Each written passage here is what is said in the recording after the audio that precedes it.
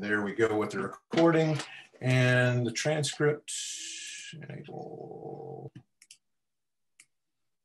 Okay, well, hello everyone, and welcome to tonight's program, a discussion of Tol'able David from 1921 with our special guest, Fritzi Kramer. Before we get started, my name is Andy Wolverton, and I'd like to thank Darnice Jasper, my partner in crime, for being my co-host tonight. Darnice and I are both librarians with the Anne Arundel County, Maryland Public Library System, which sponsors this program. And a special welcome to anyone joining us tonight for the first time. If you're new to the group and would like to be on our email list, please send me an email at awolverton at aacpl.net. And Darnice has probably already beaten me to the punch, as she usually does. that will keep you up to date on all the latest news for our movie events. Okay, uh, so before we get into tonight's discussion, I would like to say a big thank you to Martin and Nate at Flicker Alley, the company that holds the streaming and DVD Blu-ray rights to Tolerable David.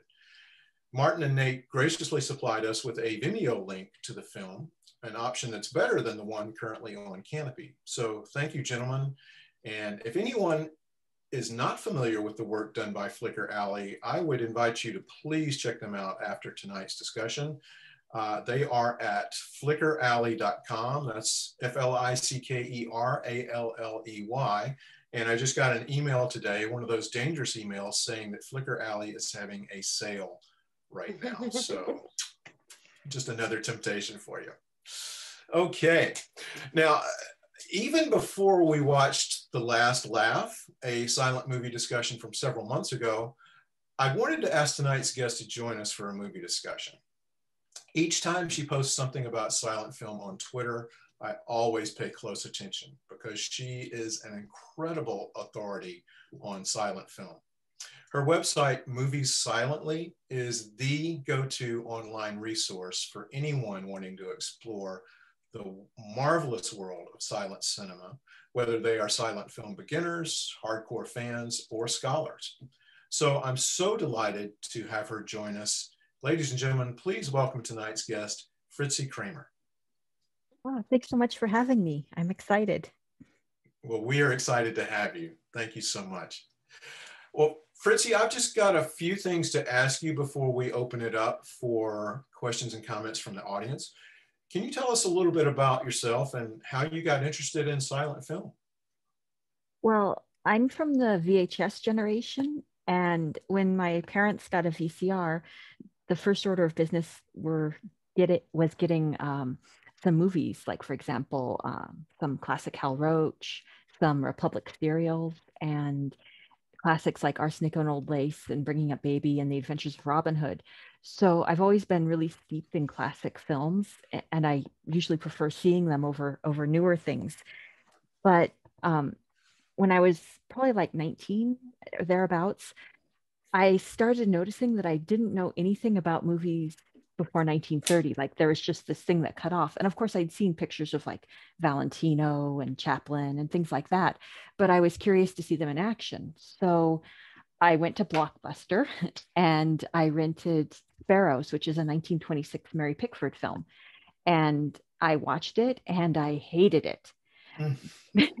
and what i've learned now what i wish i had known then but what i know now is that sparrows is an excellent movie it's just that the tape was somewhat warped and faded and wasn't playing exactly right. So the organ score sounded weird and nothing turned out the way it, it should have been. But so I love it now. I don't want to turn anyone off sparrows. But so then I went back. I'm like, okay, get back on the horse. So I rented City Lights with Charlie Chaplin, and that I absolutely loved. And then you know, being an Errol Flynn fan, I was also a Rafael Sabatini fan. So I saw there were a bunch of Sabatini adaptations from the silent era. So I watched The Seahawk and Scaramouche, and I loved those. And I got into silent era DeMille. I I started watching the Hal Roach comedies from the silent era, and it was just the end. I was hooked from there. That's great. That's a that's a wonderful journey that you made to to to go back and and and see that that era and and I hope a lot more people do. Uh, my my situation was kind of like that as well. well, Fritzi, just to give you a little bit of background, we've, we've seen a few films, silent films in this group, and I'm sure several people in the group have probably gone outside the group and seen more silent films. So you may be preaching to the choir somewhat, but can you talk a little bit about some of the challenges you face when introducing silent movies to modern audiences?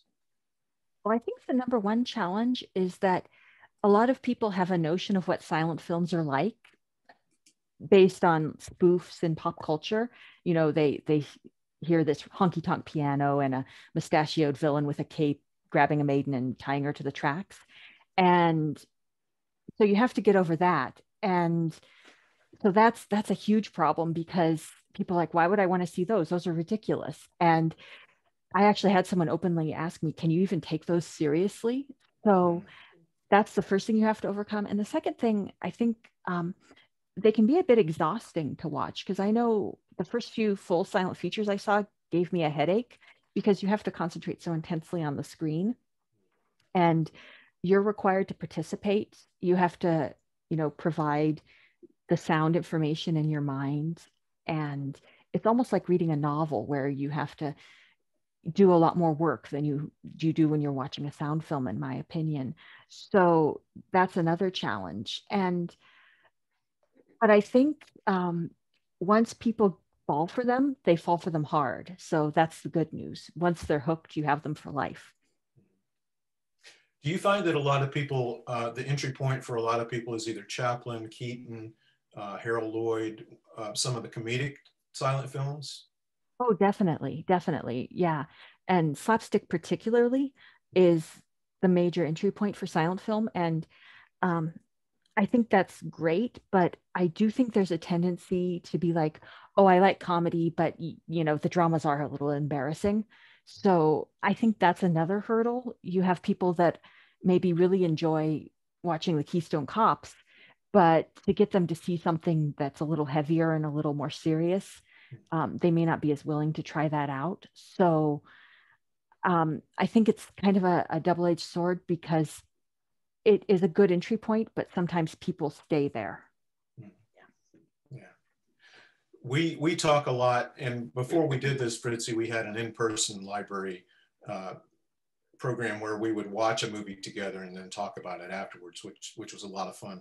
Um, as well. But one of the things that, that I find, and Darnice and I find a lot, um, not so much with this program, but in just talking to people in general, is it's important for, for us to put ourselves in the mindset of the, the people that saw these films for the first time at the time. Uh, what was the culture like? What was going on in America or wherever these films came from, Germany, uh, France, and try to put ourselves in the time of what they would have expected in, from a film, the technology, that that type of thing. Um, is that is that a bigger barrier for some people to to get over? Well, I think it is to a certain extent because not everyone wants to do research before they watch a movie. And I mean, I'm not putting anyone down for that because you know sometimes you just want to relax and enjoy yourself. Um, and like for example, I saw a charlie Chase comedy called Mighty Like a Moose, and a bunch of jokes in there depended on knowing the immediate current events of 1926 because they were very topical, mm-hmm. and they're hilarious. But again, you know, it may not be everyone's cup of tea. Um, and I do think also, um, just like people make assumptions about silent films, sometimes there's assumptions about the culture of the time. Like I just did a big um, review of the 1896 May Irwin film, The Kiss, you know, the famous close up of the kiss. And mm-hmm.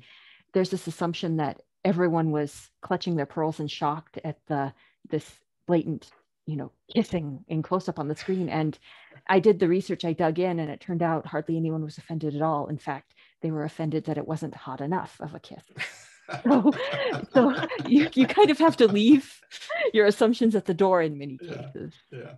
Oh, that's great. That's great. Well, Tol'able David turns 100 this year.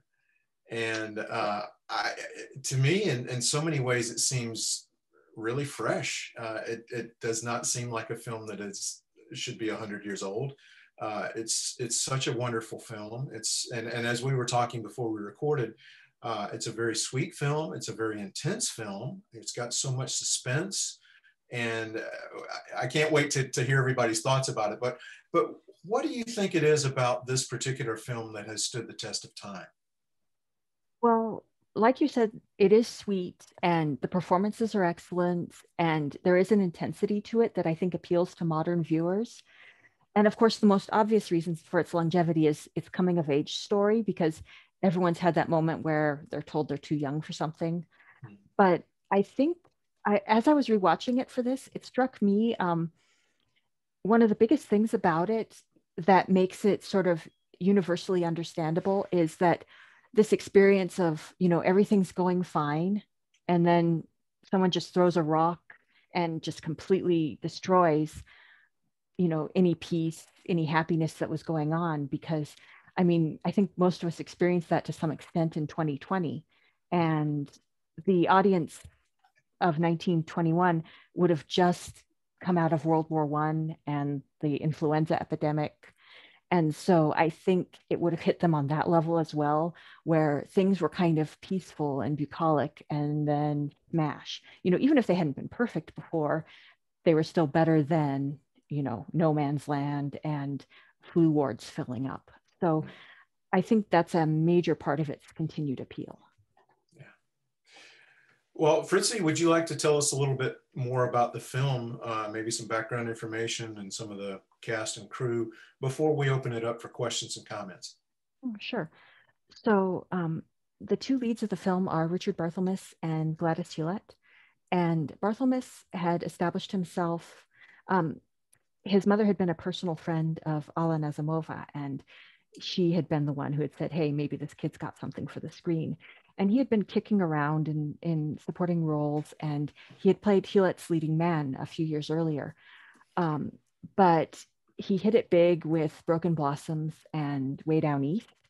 And then he really fell in love with the idea of making Tol'able David, which um, the rights were owned by D.W. Griffith at the time. And through some negotiating, when Griffith opted not to make it, uh, Henry King and um, and Barthelmess decided that they would form, um, form Inspiration Pictures with Charles Duell. And so they got the production going. And Henry King, the director, actually grew up not far from where Tol'able David was filmed. It's set in West Virginia, but filmed in Virginia. And um, so when they were adapting the film, the screenwriter, um, Edmund Goulding, was an Englishman. And um, King felt that he just hadn't gotten the right flavor, the right um, rural American flavor for the film. So he just went and reworked it. And um, the author of the original story, Tol'able David Joseph Hergesheimer, said that he felt he improved the story because the original book, uh, the original short story, Tol'able David, is um, it's very direct and to the point. The only female character is David's mother. Esther was an invention for the screen, mm-hmm. and the um, and the villains are kind of treated as a group. They aren't given much individuality. I don't think they're even given individual first names in the original story. And so basically it's um, it's more of a um, more of a idea of Goliath than a kind of a literal Goliath, um, although it is directly referenced in the original story.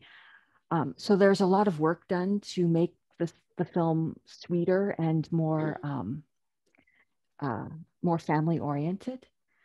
And so King felt that was very important to kind of bring about that that flavor of the childhood he had experienced. And I think that shows on the screen. And uh, Tol'able David was met with absolutely rapturous reception. It was named Best Film of the Year um, on many lists. And um, it basically established uh, Barthelmess as a leading man, and he was able to leverage that into a, a, career where he made some pretty interesting social films as well. And it established Henry King as a major director. Unfortunately, Gladys Hulette's career didn't last much longer after it, but she had been in movies since the 1900s as a child star. And um, she just for whatever reason, it wasn't able to turn that into as long a career as she should have had. But she's every bit Barthelmess's equal on the screen and just excellent in the role. And of course, Ernest Torrence, who plays Luke, is, continued his long career as a character actor. And he's absolutely wonderful. He was apparently an absolutely lovely man, classically trained musician. And, um, but he scares living daylights out of everyone. I must say. Absolutely. Yeah. Really good. So, um, so yeah, it's, um, and then it kind of had an interesting afterlife because it was used as the film being shown during the Tingler scene when the Tingler is crawling across the scene. They're showing the very finale of Tolerable David, and I would have been angry about the Tingler interrupting that scene um, because when the film was shown, um, I, I, was able to see it live at the San Francisco Silent Film Day of Silence in 2017, and during that climactic fight scene, you could have heard a pin drop. Like there was absolute silence. And I'm pretty sure a lot of people in the audience had already seen it, but no matter how many times you've seen it, you always take a little breath at the end when you see the cabin door and it's about to open and you're not sure who's won the fight. So, I mean, if that's not a recommendation, I don't know what is. Well, thank and and you know that we that brings up something we were talking about before is the um, first of all this fight seems like a real fight. I mean, it seems like Bartholomew is really getting slammed against the walls and the door. Um, it, it really is quite brutal. Um, and, and we were just talking about how audiences reacted to things at that time. Um, and and I, you probably know, I, I don't know how how rough that was for the for the people. I mean, there were no stunt people, right? No stunt men. Um,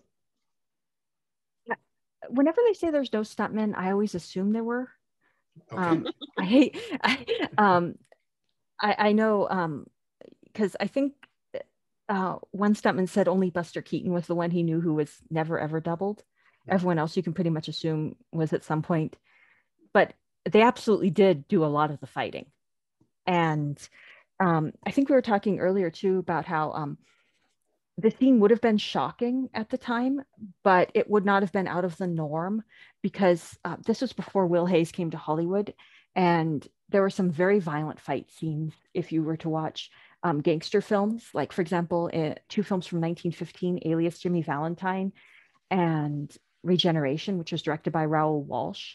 Um, both feature some pretty gory uh, fight scenes. And uh, so Tolerable David, um, like I said, there's a lot of suspense involved in it, but it wouldn't have been considered shockingly violent compared to other content that was shown at the time. Yeah. Really interesting. Yeah. yeah, just a tremendous, tremendous scene, and and the editing. I mean, we a lot of people talk about modern films and how well they're edited, but this film is superbly edited uh, especially the suspense where uh, the fight is going on and then we see the scene of David's mother just kind of casually just you know waiting and you know where's the where's the where's the mail truck or where's the mail carriage uh, the editing I thought was wonderful in this yeah and and that and that echoed the earlier scene where um, Alan the older brother is being uh, attacked mm-hmm. um, and and David is just, you know, sitting around imagining himself driving the mail coach. And meanwhile, his brother is being attacked on the mail coach. So there's a lot of like um, ju- juxtaposition that creates dramatic irony. It's really, um, it, um, it, you're right, it, it's really well edited. Well, um, Fritzi, unless you have some some other things about the, the film to tell us, um, certainly welcome that. But um, if not, we can open it up to questions and comments. Did Did you have anything else you wanted to mention about the film before we uh, before we go to the audience?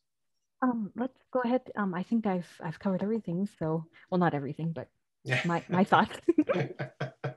okay, Darnice, uh, we'll see what uh, what we have. So again, you can raise your real hand or your virtual hand, or use the chat. So um, I'm guessing is that Jean um, in the in the chat uh, spoke about the audience of the day and how they would feel about Rose breastfeeding. Was it a big deal? Was it not a big deal? Um, that was one of the questions that we that I had as well. Yeah, you know, it's a question I've had as well, and I have not found another scene of such open breastfeeding. Um, but with that with the caveat that most silent films are lost. But it, it that did strike me as very unusual. But when I've been researching, I couldn't yeah, find right. any complaints about it. So hmm. that leads me with the assumption that maybe it was not that unusual or maybe people were so caught up in the drama that they didn't really notice but it is like a full medium shot of her just rocking staring ahead nursing that baby so i don't know that they could have missed it so yeah i agree with you that's that's something that i've been interested in um, because you don't find many open portrayals of breastfeeding or pregnancy to that degree. Most of the nursing is like bottle or rag that you see in the films. Yeah exactly. Or and a real baby. You usually yeah. just yeah that was really interesting. Um, so i caught a few hands while i was reading the um, chat. I saw um, jim and ethan. Was there someone else? Um, and chuck? Okay. So go ahead jim okay i uh, when i first started watching this film a couple minutes into it when esther first made her appearance i said oh this is going to be a really sappy film i'm not going to enjoy it but I really liked the film. So I'm really glad I stayed through it. Nice. Same. Um, Ethan? Um, in one of my classes that I'm taking now, we're reading a textbook, and the chapter that we're going over right now is all about different camera angles. And I just read the chapter of the close up, and it said something like cinema was completely changed when the close up was introduced into movies and watching Tall David and all the close ups, I could tell that it was sort of sort of in its infancy, at least compared to now 100 years later. But it was very, very, very effective and impressive. All the close ups. I could really, I could really, really feel all of the reactions of every character, specifically David. His the, the lead's performance was without a doubt my favorite part of the movie. It was very, very impressive and also very, very modern. It it almost felt like I was watching a movie that was made now, trying to look like it was made in 1920 because that acting was so modern. It felt like what acting is now, very prevalent. And I really admired, I really admired that. Good point, Ethan. Yeah. Chuck? And then we got you, Matthew, too. Yeah, I had a question uh, for Fritzi if she had any information on where the movie was shot. Um, because I thought one of the great things they that they did in the movie, they put you in that element um, with the rural town area. I really felt like that was taking place in a real rural town. So I don't know if you had any information on that. Yeah, let me um let me look at my um, my notes because um, it is they did say where it was filmed, but I, am terrible with geography, so um, um, I just remember it was in Virginia um, near Henry King's birthplace, which um, yeah. So um, let me um, let me dig through my notes and I'll get back to you on that. Sorry about that. Problem. Thanks. Um, I got you, Bob. Bob. Susan's next. Um, she was. Do you want to put your clothes on? There you go. Um, hi guys.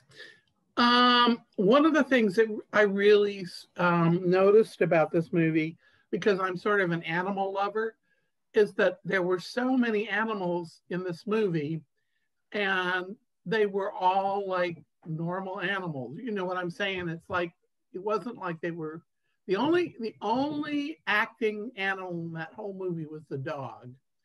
And I knew that the dog was going to get killed, but when I watched that scene, I was watching the dog because I watch dogs, and he he actually jumped up. If if you catch the cut, he he he he didn't hold his dead dog pose.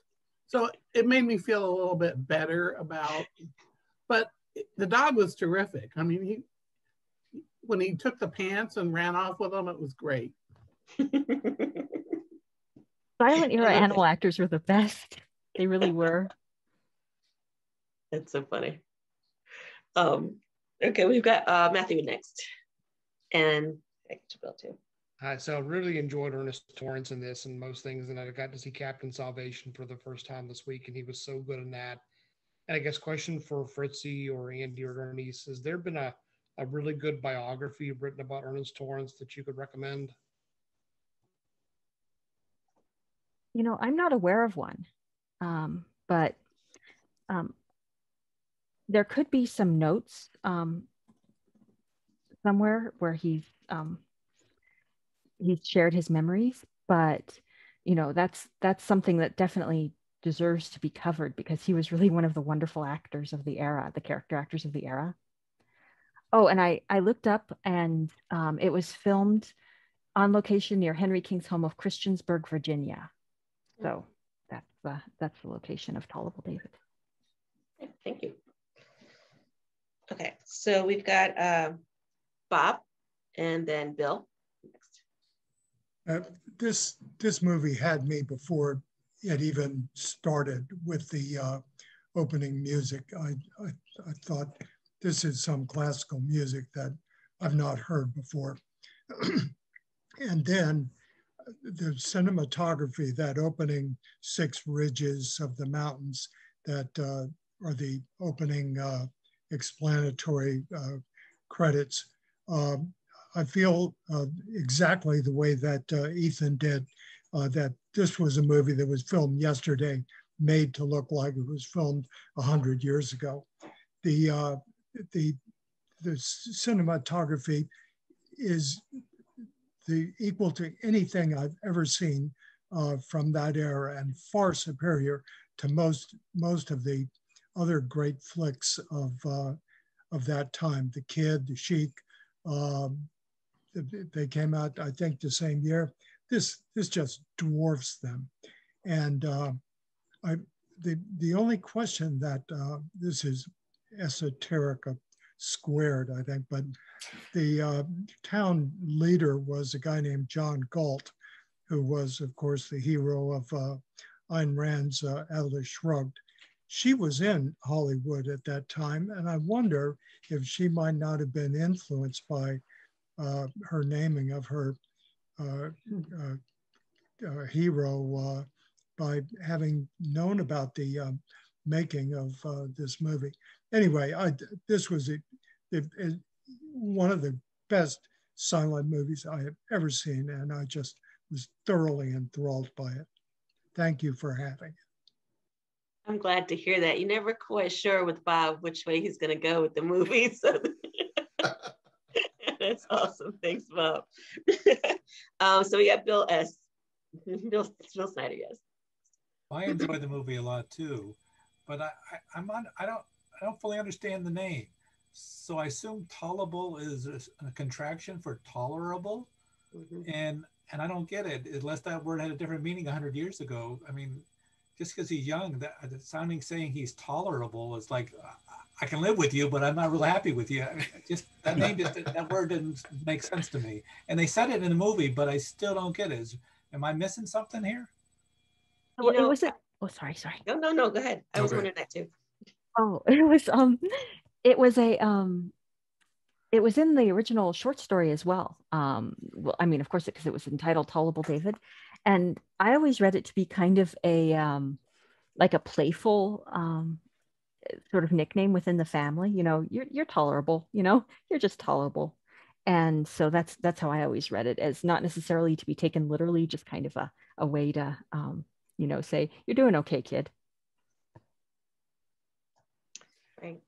Um, yeah, I was going to say I grew up in the South, and that that word was used a lot when somebody would say, "How you doing?" And frequently somebody would say, "Tolerable."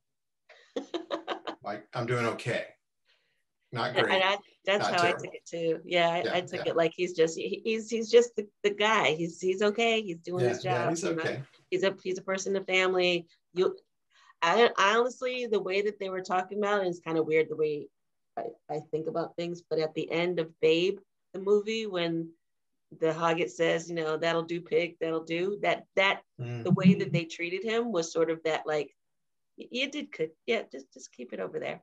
Um, so so that was interesting. Um, we've got Wally next. Can you hear me? Yes. Mm-hmm. Yes. Okay. Yeah. Um.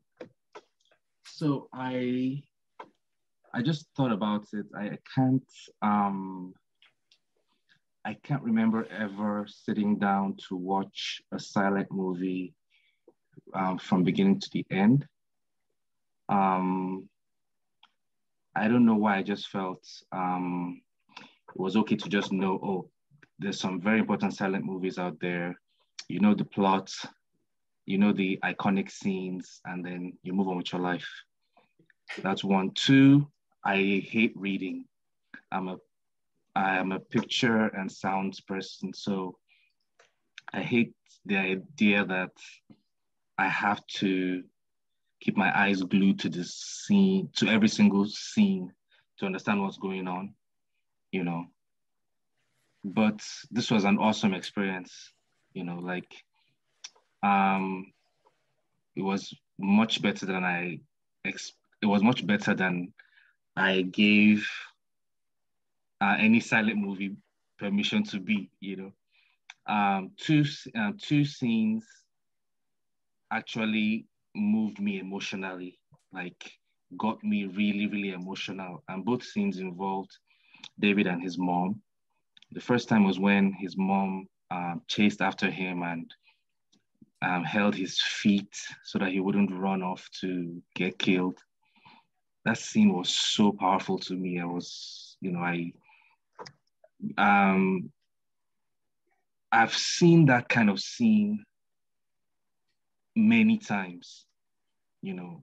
So nothing I mean nothing in this movie is new today. Like it's been redone. It's it's inspired so many um it's inspired so many um um movies, you know. So we've seen all those themes done in more recent films over and over again. So nothing nothing particularly is new to somebody who has been watching movies for for years. But it still had the impact you know i was still moved. Um, i still had to fight back tears at that scene. And when he got back again from you know from all the fighting and his mom had to get him um, from the carriage we, um, basically he came back a hero you know after like sacrificing himself and all whatnot so that's um, that scene was also very powerful to me because of um, the importance of his relation to his mom. You know, I um, I was almost sure he would um, leave his mom there and go fight those guys. I was because that's what I'm used to seeing. But her making that plea that oh, if you die, um, how are we going to cope? You know, th- just the thought of horror that they will go through if he also died. I think that also helped move me. Um, yeah, so yeah, this was a really, really good film, and I understand why um, it was preserved and remade and inspired so many movies. Thanks. Thank you. Hey, uh, Susan, well, let's see, Susan and Jim um, both uh, had a comment for We'll Let Bruce Go and then we'll go back to Susan and Jim. And Bill, where's in here? Okay. Go ahead, Bruce. Yeah, I'm sorry, I got lost in the. In the yeah, sorry, I said a lot of words. I um I, I, I know I I'm kind of harsh on movies, but I really really like this one. Um, I I a few things I noticed. Well, one thing that I do appreciate about the silent movies is because there isn't that dialogue. You have to get that story um, through. You have to get the emotion through with the acting, with the lighting, with the stage setups, with the props. I mean, it, everything has to contribute to that story. And I thought um, there was a lot of that that I thought was very good. The the that evil hunch that the bad guys would do, or someone would do before they would attack. They would have that that hunched over posture, so almost like a dog with hackles up. I thought that was that was very well done. Um, there are a, couple things that I thought were very, very powerful as well. Um, right before they're leaving, uh, when they pack up the house and they're moving out, when uh, David has the um, the uh, uh the little verbal altercation with Esther, and he really gives her what for, and says, you know, I, I know it's not your fault, but I'm still mad at you. I hate you. I can't stand you. Whatever. He gets back in. It gets in the cart, and he says to his mom, "We haven't left anything." And I thought that statement. It could have been written. It could have been written, "We got everything," or what have you know. There's nothing left in the house but that's not what he said. He said, We haven't left anything. So every single tie they have to that location has been severed, including that tie with Esther, which I thought was, was pretty, pretty powerful. Um, quick little thing I noticed uh, the bad guys were named Hatburn, and David's last name, that family was Kinemon. And I was wondering if that was somehow related to Hatfield and McCoy. Um, it seemed far enough apart to be a subtle reference, but close enough to be a reference nonetheless. I don't know if there was any um, uh, uh, thoughts with that research wise, but where this was taking place, it could have stood to, to have those two families involved. And, and I would like to, to hear everybody's thoughts toward the end, uh, and, and, Andy can cer- certainly do a great job moderating this. I'm curious about the last scene. We don't know if David lives or dies from the fight. Mm-hmm. Um, he also sort of gets what he wanted uh, this in terms of a rite of passage he got accepted as a man and they even said that and he said no ma was right i'm just tolerable and I'm curious to hear what people thought, what he meant by that. Was he saying that, was he diminishing his own win in the fight? Um, is he saying that he did what anybody else would have done? He's not special. He just, you know, any man would have done that responsibility of bringing in the mail or what have you. Um, I'm, I'm just curious to hear thoughts on that. Bruce, that's a great, great question. Uh, why don't we have a few people respond to that, and then Fritzi, you can uh, you can join in after a few people have, have given well, their opinion.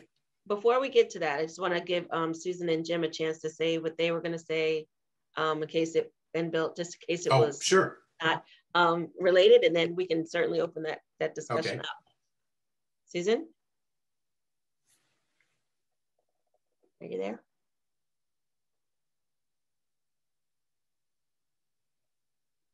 Susan, okay. maybe we can come back to Susan. Come back to it, get Jim. Yeah, okay. Um, okay. Something I noticed on this that I have never seen in another silent film before, but Fritzi has seen tons more than me, and she may have done it anyway, was each time they had a new character on there, they'd give the character's name, and then they'd have on there who played that character. So I thought that was an interesting device. Yeah, that was. Um, I don't know if that was common. That was that was very common uh, okay. to have an introduction. In fact, in some earlier films, they would introduce the actor as the actor in evening dress and then have them with a dissolve hmm. morph into their character as like a hmm. formal introduction of them. It's very charming. Like that. Um, okay, Susan, I saw you got your. Sorry about that. I, uh, yeah, no problem. Hear me? Mm-hmm. Yeah. Um, I just wanted to kind of expand a little bit on what Wale said about the fact that this movie appears to have been the origin of a lot of film traditions that have happened since then. Um, the the the evil uh, trio. Um, it it just uh, there's been a lot of films since then that have sort of copied that. Um, the young man in peril. Um, I just I, I really think that this the, the one of the reasons why this film is considered a classic is that it is a lot of what it was in it was totally new. And that a lot of films since then has taken those themes and expanded on them. Very true. Thank you. Excellent. Excellent point. All right. Um bill b. Yeah a lot of really good uh points and uh uh, interesting comments by, by people tonight. Uh, and I, I, agree with an awful lot of, of, of uh, went on before me. Bruce kind of beat me to the punch on the on the Hatfield reference because I noticed that as well, and it's close enough to the Hatfield McCoy thing. I wonder if there was a veiled reference there. Um, uh, I was uh, particularly struck, I think, by the strength of the visual storytelling uh, that uh, people have already talked about the cross cutting in it, uh, the close ups, and uh, the editing seemed to be more of a piece and more consistent than I think an awful lot of films of that time. Um, I think uh, uh, in terms of the visual storytelling, I think it comes very close, so not quite to the level of Griffith's best work. Uh, uh, Broken Blossoms, uh, uh um, Orphans of the Storm, uh, Intolerance, uh, Birth of a Nation, in terms of that visual storytelling, but very, very strong. Um, I think Bruce brings up a really good question about David's um, admonition about, oh, I'm just tolerable. And I had sort of the same things running through my mind in that I was sort of struck by the idea that uh, he was a boy who became a man as a result of the events that took him to the end of the picture. And I think part of the revelation of what it is to become a man was uh, to know it's hey, it's not all just uh, um, being a man and, and, and having all of the, um, the accolades and the respect and everything that goes along with being a man, it, it also entails all of that responsibility, the heavy responsibility of reaching adulthood and trying to wrestle with all of these things that a man would have to contend with. And in so doing, it sort of reflects back on his own inadequacies and humanity. And it's like, hey, you know, I'm I am just just a person. I'm just a guy, and and uh, even if I've done something heroic here, uh, I've been on this journey, and uh, it's it's all part of becoming a man.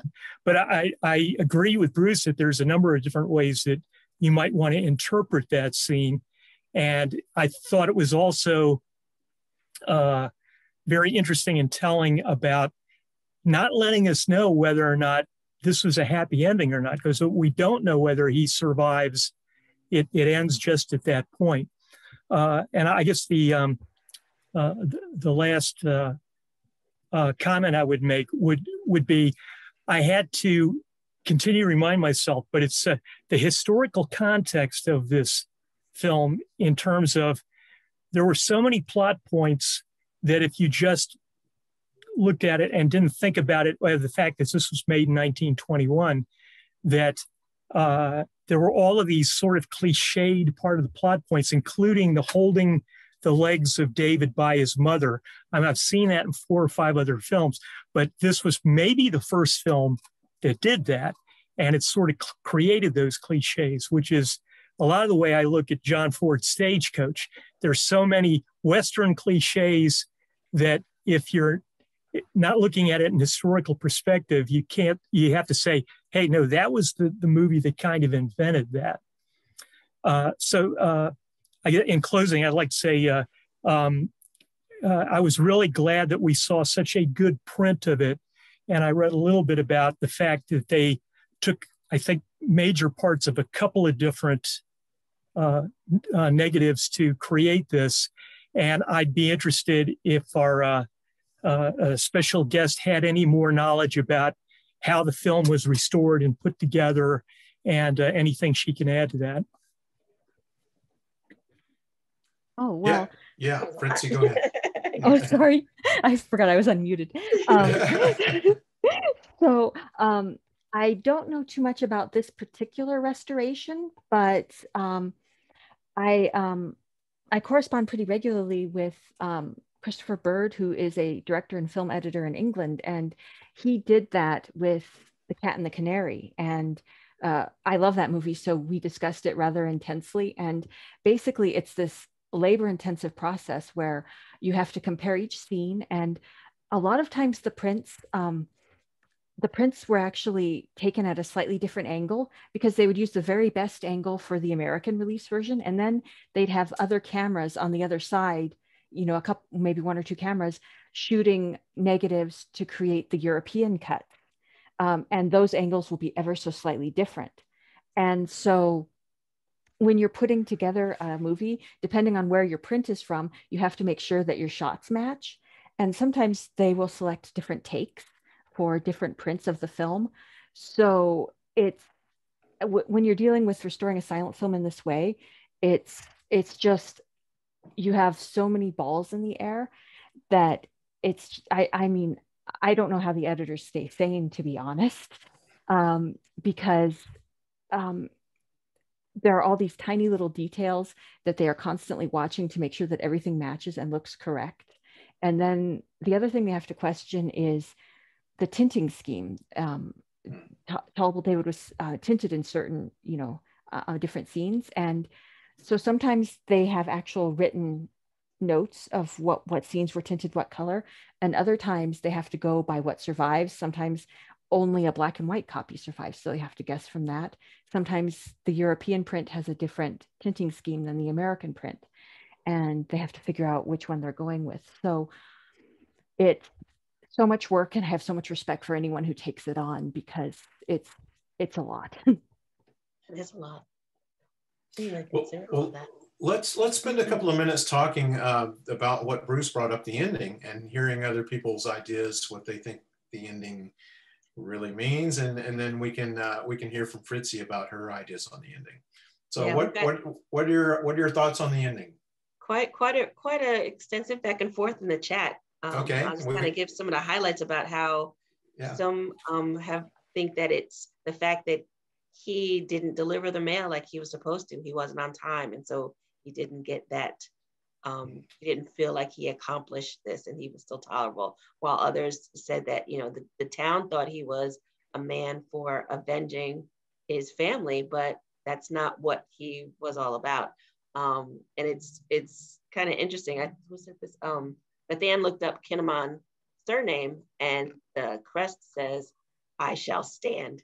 that that's what David's last name means. So definitely he stood up for his family. um, but um, Bruce brought up a question too that, you know, like what was this moment that would equate him as manhood? What was the transition? And it's it's one of those questions that we're we're kind of having to to figure out here. So I'll open up the floor, raise your raise yeah. your hands and jump on in if you want to repeat what you said in the chat, then we can do that too. Go ahead, Ethan. I really like the points that that Wale made in the um, in, in the chat, and I, I, would I would like to popcorn over to him and, and let him express that verbally because I think I think that was very strong what he what he wrote. Yeah, definitely. So, first, Wale. Thanks. So I was saying, um, when we we're kids, we can't wait to, to grow up. We can't wait to drive our parents' cars. We romanticize being an adult, you know. And then when um, we gradually, uh, like before I start, before I could drive, learn how to drive a car, I wanted to drive any car. I couldn't wait to drive a car, you know. And after a few, by the time I actually started driving a car, um, it became boring. It became a chore, you know after a while, your parents start sending you on errands to, you know. So that's one thing. Um, you have to grow out of childhood in order to stop romanticizing adulthood. So that was the first uh, point I made. The other point is um, there isn't any one event that makes you a man. Like, you, you, I don't believe adulthood is something that just happens because you pass a certain age or you do a certain thing. You know, um, if a child, um, if a if a burglar comes into a house and the child has to shoot that burglar, that child doesn't become a man because they shot the burglar. You know, the child is still a child. You know, so th- there isn't any event there that suddenly makes Dave David an adult. He still has to wrestle with childish emotions, even though he has done um, a, an, a heroic thing. The good news is the community is going to treat him like a man. They're going to give him more respect and more responsibility. But is one thing to want that adulation and another thing to get to the point where you actually now have the responsibility to do that thing. Um, I think the last um, point I was going to, I was trying to make was, um, uh, I can't, I can't remember the last point, but yeah, the, he, oh yeah, the last point I was trying to make was the character growth, you know, in the last acts, everybody in you know uh, screenwriting 101 in the last act the character is supposed to have grown and made progress. So this character was a child. Um when when when when we don't know when we don't know what we don't know we think we know. This child now knows okay this is what everybody's been trying to tell me that this thing isn't isn't isn't all it's been cut out to be. Um now i know enough to know what i don't know. I understand that okay wow this adulting thing isn't as glamorous as it is. And if you guys expect me to be doing this every day, nah, nah, nah. yeah. Oh, that's great. That's great. Yeah, that's a great uh, point, Molly. Definitely. So uh, let's hear from Ethan, and then and then I'd like to get uh, Fritzi's take on on the ending. Yeah. Um, my interpretation of the ending that I was mentioning in, in the chat sort of um, stems from what I noticed about David throughout the movie, which is that one of his primary objectives, in fact, his primary objective for most of the movie is never about vengeance on the cousins. It's mm. always about wanting to take over the mail delivery. He always somehow manages to find a way to get everything back to, I want to deliver the mail. So to him, that's it's symbolic maybe not so much in the movie but to him it's a symbolism of finally achieving manhood. And i but of course and i think i i say something about this in the chat there's a an insert a title at some point in the movie right after the um, murder takes place where someone in the town is whispering to the other person like if i were david i would have mm-hmm. killed them by now or something like that so mm-hmm. the people in the town they think that becoming a man or the manly thing to do is to um, exact revenge on the people that messed up his family they think that violence is that sign of manhood so anyway in the ending from what i picked up david goes to that house to get the mailbag back. He ends up um, killing the three bandits as he retrieves it. But instead of delivering the mail, obviously he's very badly wounded. He goes right back into town with all the undelivered mail. And when they when he gets there, Ma and everybody else praises him as a hero because he killed the criminals. He um, he avenged yeah he avenged his family. He got he did what they thought was the manly thing to do. But david what he thought the manly thing was to do was to deliver the mail. And he not only did not deliver the mail but he probably still feels some kind of guilt over losing it in the first place. So i think i personally me think can't speak for anybody else here. I think that's why he sees himself as just tolerable because he had this one objective throughout the movie of being a man and he fails at that even though he succeeds at what everybody else thinks is or at least should be his objective of being a man. Okay and and you know is it possible that he achieved all of those objectives in the same act? Uh, fritzi let's hear let's hear your take on the ending. Well um I think looking at the at the context of the period, I think most people in the audience would have probably at least hoped for a happy ending, even though they don't quite get it. Um, because, like I said, they had just been through the war; they were ready for a little bit of of happiness. Um, but interestingly, the original short story is, if anything, more ambiguous as to whether or not David survives. Um, I just wanted to uh, read off the the fi- this final sentence. It says, "A grim struggle began between his beaten flesh a terrible weariness, and that spirit which seemed to be at once part of him and a voice. He wiped the blood from his young brow, from his eyes miraculously blue like an ineffable May sky. Just tolerable, David, he muttered weakly, only just tolerable. So if if anything, it's it's more ambiguous as to whether or not um, David survives, but it's definitely like um, self-reproach almost. Um, but he's also been very terribly beaten, so he's not entirely, um, you know, comprehending. Yeah. So I think um, there's definitely room for the interpretation that maybe he never made it back to town in the original story, or that he passed away when he returned. Oh, um, but I did want to bring out um, regarding the Hatfield and McCoy feud. Um, and whether or not it was referenced in this. I know Buster Keaton's film Our Hospitality from 1923 had characters called Canfield and McKay. And also, the Hatfield McCoy feud was in the 1890s. It went up to the 1890s. So it would be like us, a movie nowadays referencing current events from 1990. So I think it's completely within the bounds of reason that it was a direct reference. Yeah, that's great. Uh, Fritzi, we're, we're, we're closing on uh, on the last few minutes here, but I wanted to ask you quickly uh, because I was so taken with him. Can you tell us what this film did for the career of Richard Barthelmess?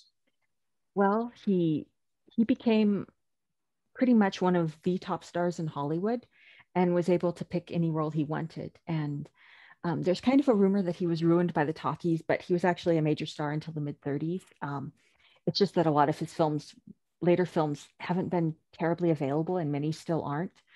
But he really did some wonderful films, particularly related to World War One veterans he did Heroes for Sale, which was a talkie and touches on the Great Depression and you know the sort of the horrible situation that some veterans were in at the time.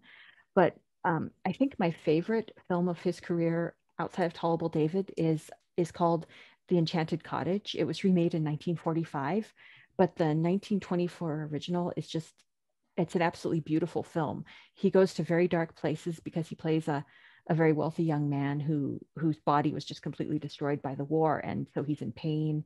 Um, he's bitter, and he rents a cottage that used to be a honeymoon cottage, and um, ends up falling in love with this woman who is equally bitter, and they sort of find happiness together. And it's just this really, um, it's kind of almost a healing film in dealing with the the wounds of the war and how, uh, you know, kind of finding happiness where you can get it is important. And so I definitely recommend that. Yeah. We, we talked a little bit about uh, Raoul Walsh, who, who started in the silent era and worked well into the, the sound era. But uh, let's, let's talk a little bit about Henry King. He, he's another director that um, did many films in the silent era, but also transitioned well into the, the sound era and did quite a few uh, many, many films. Um, tell us a little bit about where his career went from this point. Well, like um, Richard Barthelmess, he basically, um, I mean, he had been directing since the mid 19 teens, but this set him up as like one of the top tier directors in Hollywood, and he pretty much stayed that stayed there until the until mid century, and he um, he he directed some some of the really um, notable women's performances.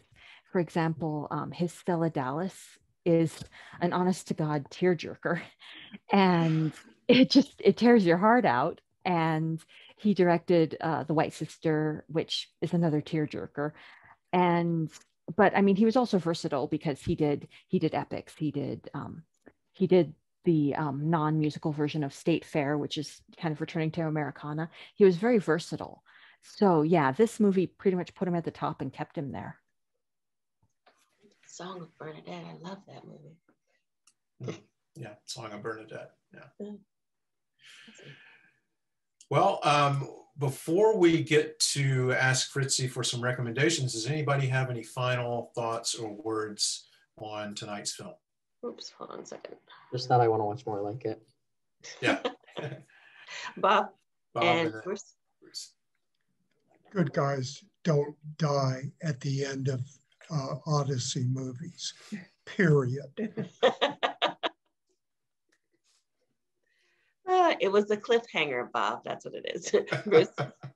Um, there are a couple of things. Again, when I when I watch silent movies, I, I look for how are they telling the story, how are they setting mood and emotion if they're not using you know uh, words or what have you. Um, two things that I thought were very emotive. One was um, when they brought Allen home and they put him in the bed, and Rose is during the breastfeeding scene when she's rocking. At the beginning, she's rocking very quickly. And as they cut back to her in the bed and back to her, she's rocking more slowly each time. And I thought that was a very interesting directorial decision to just, I don't know if it was to calm things down or to bring things down that that I was almost expecting them to announce that Allen had died, just because she's slowing down her rocking and that mood is coming down. Uh, the other thing that I, I noticed um, when David is outside of the dance and um, he he's holding his hat and he starts doing a little dance shuffle. And just the way he's holding his hat and the way he starts rocking his little dance shuffle which is it, it showed so much about what he was feeling that you you really didn't need dialogue in there you know and, and a lot of the cards were not maybe a third perhaps were not dialogue cards. They were actually explaining what's going on. You know undaunted our hero uh, you know marches back into the line of fire or what have you. But that i thought those two scenes really stuck out. Um, and uh, again someone mentioned earlier the opening and closing of the door after the fight. Not only does the door open slowly but then it closes a little bit and it opens a little bit and closes and then it opens. I'm like man they're just dragging this out to that to that uh, fulfillment at the end. I thought I thought those three cuts were just very well acted, very well directed. Yeah. yeah. Thank you, Bruce. That's that's excellent. Well, uh, let's go ahead and uh, go to Fritzi and and see if uh, you have any recommendations for us. Anything, any other silent films that we might enjoy after watching Tol'able David? Well, um, one thing that you might enjoy as kind of a double feature is Wild Oranges, which is from 1924 and directed by King Vidor. And it's also based on a book by Joseph Hergesheimer. And it is very similar in the um, finding manhood um, through fighting a very large man um, in a violent manner. Um, it's basically Tol'able David with adult by the seaside. And yeah. So, I mean, if you wanted more of the same, there is more of the same. And I mean, it is derivative to a rather large degree, but it is also extremely well directed. And the fight scene is actually, um, it's bloodier. And um, I don't know if I would say it's, it's more intense because Tol'able David's a tough act to follow, but it's definitely worth seeing. And then if you wanted something that was kind of on the sweet and, you know, more idyllic kind of uh, kind of viewing spectrum, what what we kind of thought Tol'able David might have been before it, it went on a darker side. I love The Wishing Ring from 1914, which is um, it's just so incredibly cute, but it uh, it manages to stay on the right side of cutesy. It never goes overboard to where you know it, it becomes saccharine. It's just kind of this adorable little short romance. Um, the cinematography is absolutely gorgeous. Um, Maurice Tourneur is the director, and it was uh, shot in Fort Lee, New Jersey. And it's um, the cast is so charismatic. Um, Vivian Martin is the leading lady, and she's just a little bundle of joy. It's an absolutely delightful movie, and definitely highly recommended. And of course, The Enchanted Cottage, if you want to see more of the Barthelmess charm. Well, thank you. And, and I'm not sure if any of these movies are on Kanopy, but uh, I'll take a look and see. Uh, maybe there's some we can get through Marina, or we can find links to other other places that might have those. Uh, and there are, and Fritzi and I have had this conversation through Twitter. There are so many wonderful silent films on Kanopy that that we haven't even mentioned. Uh, you could just do a search on silent film and, and so many great ones there to choose from. Well, Fritzi, we're we're almost out of time, but uh, before we go, we would like to thank you so much for joining us tonight. Not only to talk about Tol'able David, but also to share your passion in silent for silent film. So thank you, thank you so much. Definitely. Um, and and Fritzi, tell us where we can find you and your writing. Um, well, I I do weekly silent film reviews on moviessilently.com. I'm going to be reviewing um, Castles for Two this Sunday, and we'll be talking about anti-Irish bias and riots that were Mm. caused by the movie. So it's very exciting. And um, then you can also find me making trouble on Twitter at Movie Silently. You make the good kind of trouble that I enjoy. All right. Well, thank you again, Fritzi, so much. And thank you, everyone, for joining us tonight. It's been a great discussion. And I hope to see you on April 16th for our discussion with Christina Lane. Sign up now. Don't wait because it may not be there. All right. Well, guess what? I mean, in the time that we've started and and to now, we've got uh we got double the people already. So it's already up to 15. So wow. if you haven't So, signed up, Yeah. As soon as you log off, sign up. sign right up. All you so. Thanks, everybody. Thank you, Darnice. Everybody take care, be safe, and watch some great movies. All right. Good night, everybody. Good night.